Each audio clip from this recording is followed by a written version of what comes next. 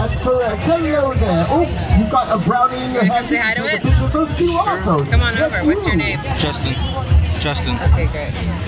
Great. May I introduce Justin? Justin, so nice to meet you. Hello, Justin. to have you on the board. We're very excited now. now Hello. Mel and I are on the case. You've met my friend Mel. He's the world's first singing toilet. I am, and as part of the Responsible Flushing Alliance, I'm trying to advocate for toilets everywhere to prevent the clog monster from visiting.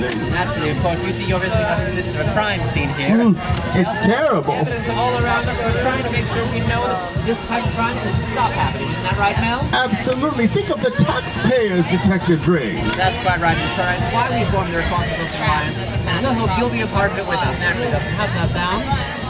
That Yeah. sounds, I think that's an affirmative. Terrific. I think Justin's going to be able to help us take our message wide and make sure we can end the clog monster as well.